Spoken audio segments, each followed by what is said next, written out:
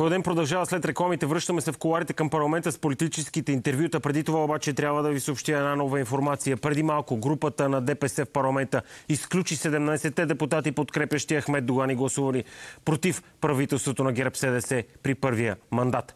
Сега отиваме директно в коларите, където